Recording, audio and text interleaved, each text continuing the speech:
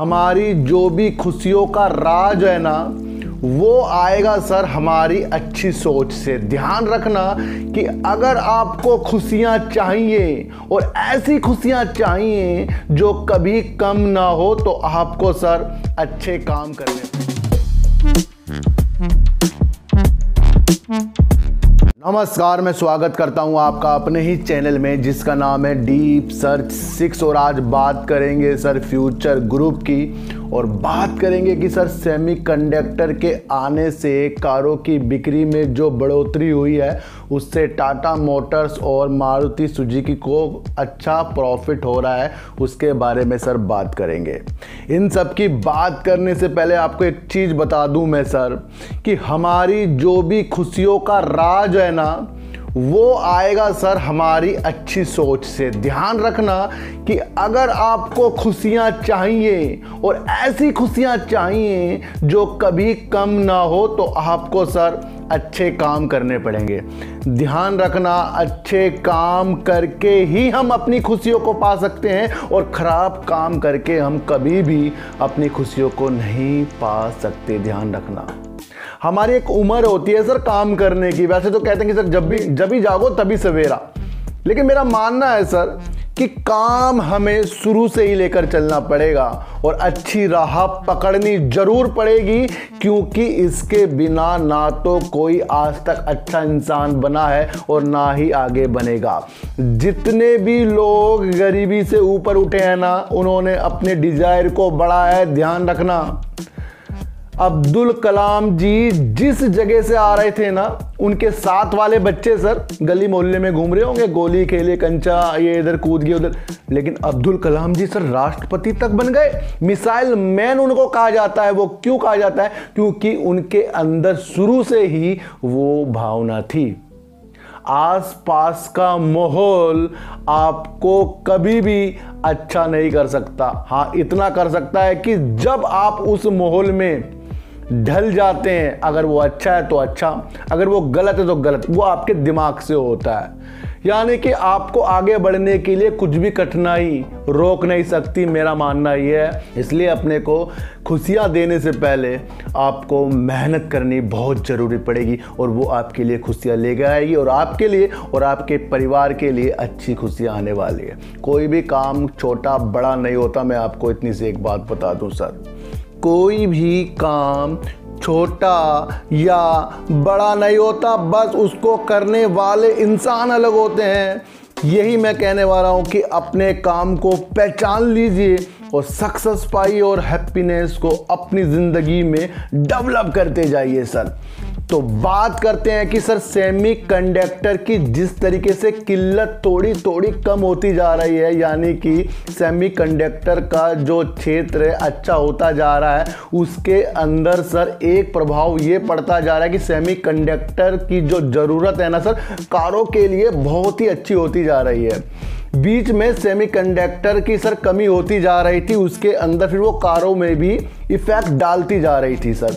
जून में सेमीकंडक्टर की जो किल्लत थी वो कम हुई है और उसकी वजह से मारुति का जो कार बिक्री है बहुत ज़्यादा हुई है प्रोडक्शन ज़्यादा हुआ है। वहीं पर टाटा मोटर्स का भी प्रोडक्शन ईवी कार का हो गया और वैसी कार का हो गया, उनका बहुत अच्छा प्रोडक्शन हुआ है सर। साफ़ साफ़ सीधे सीधे शब्दों में ये बोल रहा हूँ कि सेमीकंडक्टर सर, आपको ये ध्यान रखना चाहिए, वेदांता भी इसके लिए काम कर रहा है और आपका टाटा भी ग्रुप इसके लिए सेमीकंडक्टर के लिए काम कर रहा है। और अपने जब देश में ये चीज़ें उपलब्ध होंगी तो आपको इसके अंदर बड़ी क्षमता का सामना करना पड़ रहा है।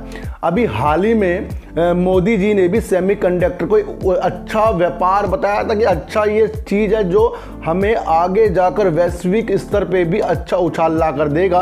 इसलिए उनकी जो प्लानिंग है सेमीकंडक्टर को अपने इंडिया में ही अच्छा डेवलप करने की प्लानिंग है, आपको इतनी सी बात जाननी होगी। तो सेमीकंडक्टर का यूज़ जैसे कि कारों में आपको ज़्यादा देखने को मिल रहा है तो कहीं ना कहीं आपको टाटा मोटर्स और मारुति सुजुकी के शेयरों में भी ध्यान रखना पड़ेगा। जैसे टाटा ग्रुप सेमीकंडक्टर के लिए भी काम कर रहा है अपने प्लांट के लिए भी काम कर रहा है, वो भी आपको देखना ही पड़ेगा। मेरी बात इतनी सी आपको ये समझनी पड़ेगी, सर। बात करते हैं, सर फ्यूचर ग्रुप की, और फ्यूचर ग्रुप का हाल वो है कि कंगाली में आटा गीला। हो ही ऐसे रहा है। कि कुछ है नहीं, और उसके बाद ऐसी बैड बैड न्यूज़ कि जो हमारे पास शेयर है ना, वो घबराहट उसके अंदर पैदा होती जा रही है। देखो सर, कम शेयर होंगे तो घबराहट बिल्कुल भी नहीं होगी। मेरे पास काफ़ी कम है तो मुझे घबराहट नहीं हो रही है, लेकिन मुझे उनकी फ़िक्र हो रही है जिन्होंने इन शेयरों को सर बड़े उम्मीदों के साथ अपने पास रखा था और लोगों की वीडियो देखकर अपने को ठगा सा महसूस अब वो करके पा रहे हैं, सर। तो फ्यूचर ग्रुप की तीन कंपनियाँ हैं जो, सर, वो लोन में डिफ़ॉल्ट हो गई हैं, सर। वो लोन नहीं दे पा रही हैं और वो करीब आठ करोड़ रुपए बैंकों को देना था, उसमें वो डिफ़ॉल्ट हो गई है, सर। कंपनी है, sir, Future Consumer, Future Lifestyle और फ्यूचर इंटरप्राइजेज तीनों की तीनों कंपनी चार सौ तिहत्तर करोड़ रुपए देने में असमर्थ हो गई है, जिसकी वजह से कंपनी ने बीएससी और एनएससी में भी इसकी सूचना दे दी है कि वो इन पैसों को नहीं दे पाए हैं। तो कहीं ना कहीं फ्यूचर ग्रुप के जो कदम है ना, इतने ज़्यादा खराब हो गए हैं कि कंगाली में आटा गीला होता ही जा रहा है। जहाँ फ्यूचर रिटेल में भी काफ़ी नीचे की तरफ़ शेयर है और वहीं पर आपको इसकी पूरे की पूरी स्थिति खराब होती जा रही है। इस डील की वजह से अंबानी जी का भी फ़ायदा हुआ। कल की एक वीडियो मैंने सार्थक बाज़ार से मेरा चैनल है सर, उसको भी ज़रूर देखना। लिंक डिस्क्रिप्शन में दे दूँगा। उसके अंदर भी मैं सर वीडियो डालता हूँ, उसको भी आपको एक बार देख लेना चाहिए। उसके अंदर मैंने बताया था, शहर में तो स्मार्ट पॉइंट जो रिलायंस खोल रहा है, वो तो खोल ही रहा है। और तो और गाँव की तरफ़ भी रिलायंस ने अपने स्टोर खोलने शुरू कर दिए हैं। यह बहुत ही एक पॉजिटिव न्यूज़ रिलायंस के लिए आ गई है। लेकिन फ्यूचर ग्रुप में जैसे ही उससे डील हुई थी, सारा का सारा जो मक्खन है ना रिलायंस को मिल गया, अंबानी जी को मिल गया। आपको ये भी समझना पड़ेगा। अब जो फ्यूचर ग्रुप की स्थिति है सर उस निर्णय पे टिकी है जो एनसीएलटी मुंबई बेंच का जो एक जजमेंट है, वो आना है। किसके उसमें आना है, सर?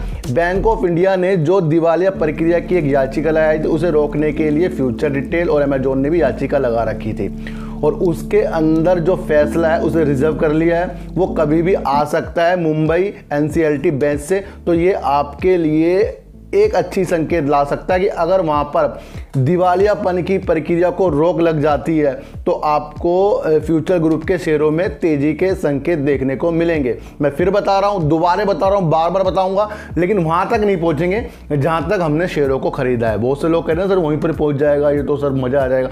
तो ऐसा भी, सर, इसके अंदर मैं उम्मीद नहीं लगाता, क्योंकि बहकाना और बहकावी बातें करना मुझे बिल्कुल भी नहीं आता।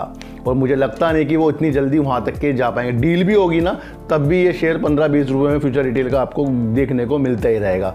फिर जब सबके दिल टूट जाएँगे, फिर फिर ये ऊपर की तरफ़ जा सकता है। लेकिन फ़िलहाल तो एनसीएलटी से जो इसकी एक जजमेंट आना है, वो इसके कदमों को तय करेगा कि आगे जाएगा या पीछे जाएगा। तो सेमीकंडक्टर से सर, कारों में आ रही है रौनक तो सेमीकंडक्टर वाले शेयरों में भी आपको अपनी नज़र रखनी है। टाटा मोटर और मारुति सुजुकी में भी अपनी नज़र रखनी है और फ्यूचर ग्रुप में सर होल्ड के साथ ये देखना है कि अब एनसीएलटी से आता क्या है सर, क्योंकि सारा का सारा मसला वही है, क्योंकि बैड न्यूज़ तो लगातार इसके अंदर आ ही रही है सर। तो सर, ऐसी वीडियो देखने के लिए मेरे चैनल पर आइए, ज़रूर सब्सक्राइब भले मत कीजिए, लेकिन मेरी बातों को गौर से ही सुनिए ही सुनिए। तो फिर मिलेंगे आपसे नई वीडियो के साथ, जब तक के लिए नमस्कार।